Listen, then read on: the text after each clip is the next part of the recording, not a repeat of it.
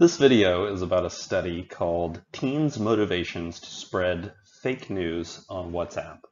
And so this is getting at one of the key issues in the context of the COVID-19 pandemic and before and after the pandemic, which is the spread of false information and the negative effects it can have on people's understanding of the world and also how they kind of relate with other people uh, so fake news can negatively affect social solidarity, can negatively affect uh, how we relate to each other, as well as practical things like understanding what actually works, for example, to protect you from the pandemic and why. So this is the range of topics that I'll be covering in this uh, video about the study. Basically, we'll be talking about fake news and this, this kind of phenomenon that's called fake news. Uh, briefly discussing WhatsApp as one of the most common mechanisms, a, a, kind of messaging, instant messaging platform, which is one of the ways that this kind of thing spreads very rapidly through group chats uh, and through uh, existing social contacts. Uh, then I'll be talking about media literacy and critical thinking, which are some of the key aspects um, and key ideas for how we can combat the effects of fake news. And then I'll be talking about this particular study, uh, the objectives, methods, and results of this particular study, and then we'll look at the conclusions and implications. So first, the, the question of fake news. What is fake news? Um, it's been defined as an information disorder with different formal characteristics and intentions. Um, basically, it's false information dressed up as if it was real. And I'm actually going to read the abstract here just to kind of um, give the overview of this particular study. So this study, uh, which had, as you can see, three co-authors, uh, it found it, the the abstract uh, starts by saying younger people are exposed to misinformation that circulates rapidly on their mobile devices through instant messaging applications such as WhatsApp. And the messaging applications can be different in different countries. WhatsApp is just a particular prevalent one uh, in the location where they were conducting this study, which was in Spain. Under the guise of news, an attractive format and outraged discourse, fake news appeals to young people's emotions by inviting them to distribute the content impulsively. All of this is supported by a device, the mobile phone, in which the action of sharing is a matter of trust. Therefore, young people are less likely to check a piece of content before resending it if it comes from a contact in their personal address book. To understand young people's habits when receiving informative content through WhatsApp and the reasons why they choose to share it or not, this study designed a questionnaire on student habits for sharing fake news on the mobile to measure young teenagers' exposure to fake news and their behavior. Empirical data from a sample of 480 adolescents confirmed that one, these adolescents are more likely to share content if it connects with their interests, regardless of its truthfulness. Two, trust affects the credibility of information. And three, the appearance of newsworthy information ensures that regardless of the actual accuracy of the content, it is more likely to be shared. So the visual appearance of the item being shared is, is very important. So this was published uh, in the July to September issue 2020 of Social Media and Society, which is a, a uh, social one of the leading social science journals looking at issues around social media and social media audiences. So let's continue on this theme of fake news. So fake news is defined, um, as I mentioned before, as this kind of information disorder with different formal characteristics and intentions. There are different mm, kind of models for fake news, though. Uh, it can take different forms. So it can be uh, taking the form of satire or parody. Um, so that's a kind of more long-standing form of fake news that's um, that that has long played a role in the, the kind of ecosystem of news. Uh, it can draw false connections. It can provide misleading content. It can provide false context to kind of change the interpretation of real content. Uh, it can bring, like, add individuals who don't belong into a scene or into a story uh, in there, and it can manipulate content. Uh, these are all different forms of fake news, and they have different implications. So fake news can also take the form of fabric fabricated content, so just whole-on fake produced um, content. Uh, it can take the form of clickbait, where something's very much exaggerated um, to the point of, uh, of falsification in order to get people to click on a, on a story to make the, the producer of the fake news money. Uh, and then it can also take the form of propaganda, which is obviously a long-standing form of fake news um, that goes way back in, in human history, uh, where uh, I basically fake information and fake news is provided in order to support those in power, in order to, to help them to stay in power and to kind of keep the population in the dark about what's going on in the world that might make the government look bad.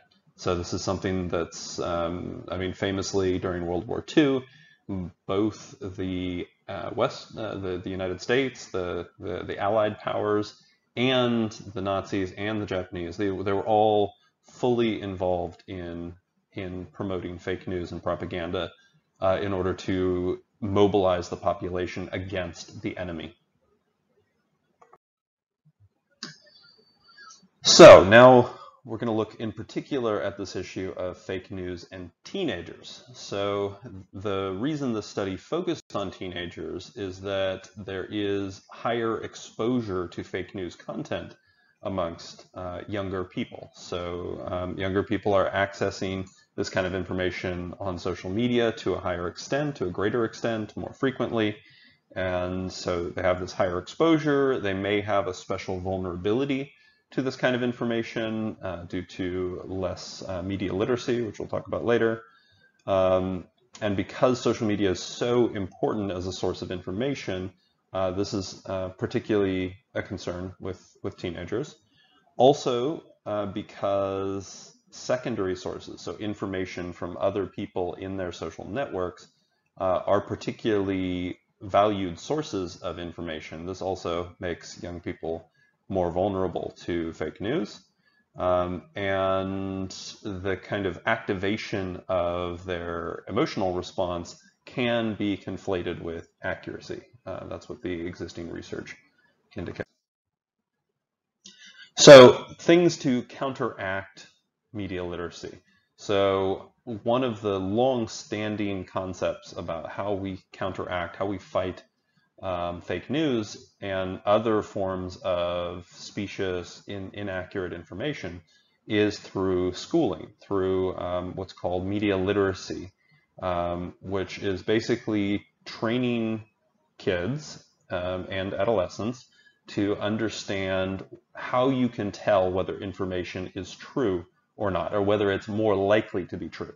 So this is helping them to assess the credibility of different sources, helping them to think about what is the source trying to do. So they're kind of able to see the purpose behind the, um, the communication. Uh, so this kind of training basically inoculates people and prepares them for this onslaught of false information and attempts to manipulate them that they will encounter for their whole lives as, um, as consumers of news and, uh, and information in general, because uh, a lot of times this kind of information comes through uh, when people are not explicitly looking for news. It's just shared as like, this is what's happening, this is information. So ways to uh, counteract uh, this kind of fake news. This is something that's still kind of a live issue, looking at the most effective ways to counteract fake news. And there are a number of limitations in uh, the effectiveness of media literacy training um, and in general, this is quite a challenge that's, uh, that's been faced by educators for a number of years now and is still ongoing. So now let's think about WhatsApp. So WhatsApp is an example of a wider category of instant messaging services. And basically these have kind of direct communication capacities. So that's the default is person-to-person -person communication. Uh, but they also have the potential for group communication. They're instant. They are not um, they're not curated. So the information that is shared on WhatsApp is not curated. It is kind of editorial free, and that increases its potential as a way to rapidly spread uh, fake news as well as um, useful information as well. So uh, WhatsApp and other forms of instant messaging service have um, this kind of um, addictive quality that that has been um, kind of programmed into it or uh, attempted to program into it, a kind of way of making you feel like, oh, I need to check that message. So like the buzz, the um, the um, the kind of notifications are designed to kind of keep people stimulated and going back and accessing their messaging service. It's um, it's got a lot of potential and value that people find in this kind of messaging service as a tool for self-expression, a tool for staying in touch um, across um, different locations. Uh, but it also has potential to harass people um, and to um, to kind of promote different kinds of misunderstandings um, because of the that you have less cues normally in something like an instant messaging service than you do from face-to-face. -face communication. So uh, in some ways, there's greater potential for conflict. But basically, this kind of instant messaging service is used to establish relationships, maintain relationships, uh, construct uh, identities, and uh, to share information. So if we look at the combination of fake news and an instant messaging service like WhatsApp, uh, we can see that there's a lot of potential for fake information, fake visuals to spread through something like WhatsApp because there's no mechanism to stop it. There's no um, there's no technical mechanism. There's no editorial role. Uh, so basically anything can be shared and that sharing is only mediated by the individual. So it's only um, cognitive control mechanisms that would be at play here. Basically the the thinking mechanisms of the user. And the uh, one of the research findings is that those thinking mechanisms can be deactivated. Uh, so the kind of controls that you might put on saying like, oh, this, this might not be true, if you keep getting positively reinforced for publishing content. So if you're posting content that aligns with the interests or the beliefs of the people you're posting it to, and that gets a positive reception because of that, then you're going to keep doing it even if it's fake or false information because because of the reinforcement. So now let's think about the combination of media literacy and critical thinking. These are two concepts that very much go together. So media literacy is about uh, kind of developing the ability to use information in a way that um, that is kind of applying critical thinking to to media content. Uh, the concern is that uh, about media literacy as a solution uh, for things like fake news is that it's putting the onus onto the user. So the the individual has to prepare themselves, has to make themselves as an individual uh, more resilient to this kind of fake news and information uh, as opposed to placing the responsibility onto those uh, involved in producing the content onto the media platforms, the social media platforms, uh, which is a more realistic structural focus in terms of uh, changing things. Of course, the reality is that it needs to be both.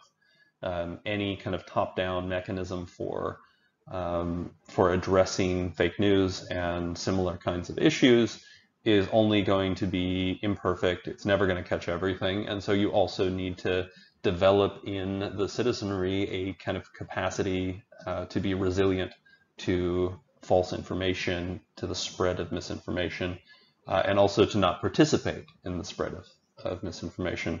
Um, so in, in practice, both are clearly necessary. So critical thinking is the capacity to critically analyze the information that you're obtaining. And this is something that can be developed through, um, through training, through education, Um, it involves reading carefully, uh, the ability to discuss, debate, and look at why things are the way they are. So the uh, the question, one of the questions that the, that's kind of critical to this issue is can this kind of critical thinking be applied outside of the classroom context um, in, in the scenario where uh, people are encountering information where they should be applying critical thinking? How do you encourage that? Uh, how do you make that happen so that people really do use, develop and then use their critical thinking capacity in a context like sharing misinformation? So now let's look at the specific study here. So this particular study um, was looking, as I mentioned, at teenagers and the spread of mis, uh, spread of information through through WhatsApp. Objective one of this study was to learn about teenagers' habits um, and what they do basically when they receive informative content through WhatsApp. And the first hypothesis is that there are differences in habits depending on the nature of the digital content received. So this is kind of an optimistic hypothesis that um, that people will be able to distinguish, they will distinguish between reliable content and misinformation. Objective two was to learn why teenagers choose to share informational content received through WhatsApp. And here the hypothesis is that there are differences in the reasons why teenagers choose to forward informative content through WhatsApp depending on the nature of the digital content received, reliable content and misinformation. So this is um, thinking that there will be differences in rationale for the decision to share depending on the content that they're exposed to. So this study uh, looked at a sample of 480 teenagers age 14 to 18 with a, an average age of 16.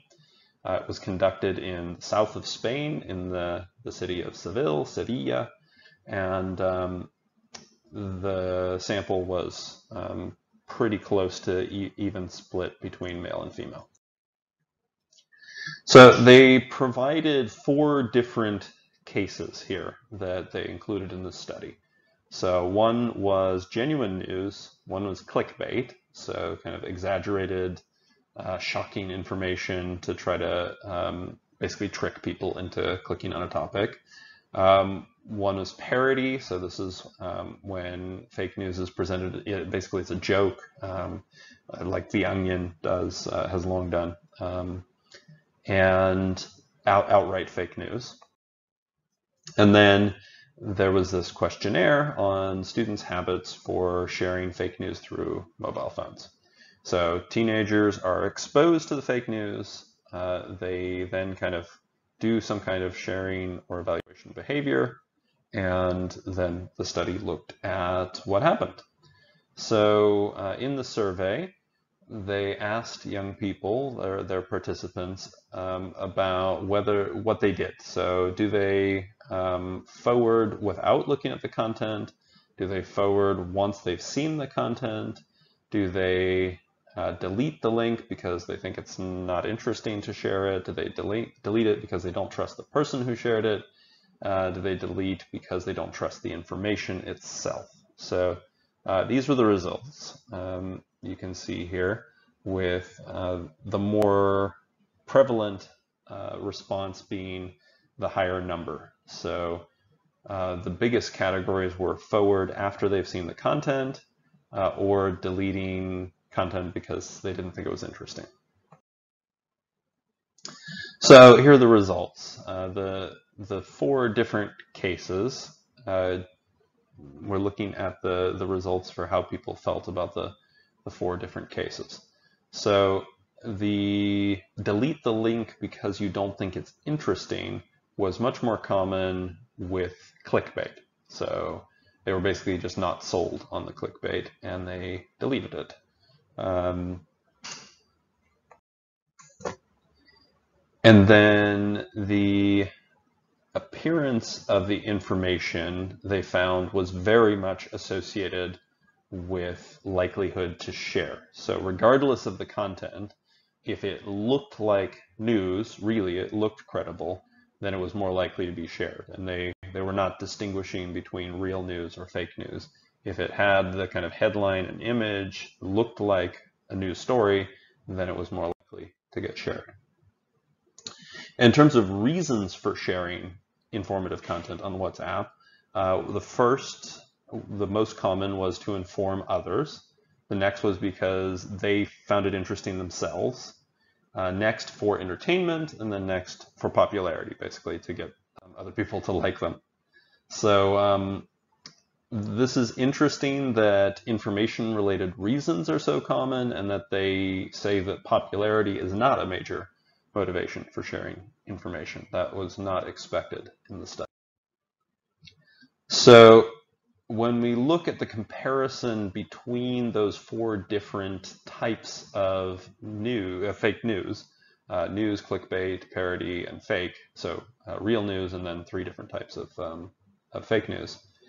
Um, these are the different findings in terms of reasons to share. So for real news, the most common, uh, this was most commonly associated with an entertainment motivation. Uh, for popularity, there were no significant differences. It was um, just not a major driver, uh, according to the respondents.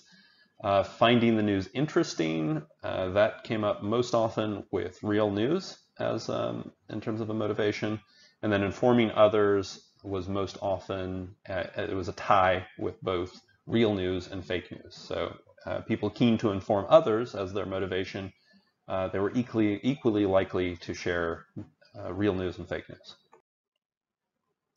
So the conclusion here is that fake news is shared because it is successfully camouflaging itself as real information. So the, the false information uh, having the appearance of real information is, is enough teenagers were not able to tell the difference between real and false information. And so it was purely based on the appearance and structure of the news, uh, just aesthetic dimensions. So this highlights the power of fake news and shows that teens are indeed vulnerable to fake news that's kind of pretending to be real news uh, visually. So this clearly connects up with uh, the study that we're doing in Germany called Viral Communication, Public Responses to the COVID-19 Pandemic, where uh, we're very interested in the phenomenon of how does information or misinformation get shared and why and what are the motivations. So we can see uh, in, in the study that we're doing, uh, what are the patterns of COVID-19 related misinformation why are people sharing them? What are their motivations? Um, are they motivated because it's interesting, uh, because they want to inform others? And can we predict differences in sharing practices and um, kind of effects on people's own behavior based on what their motivations were for sharing or accessing information or misinformation?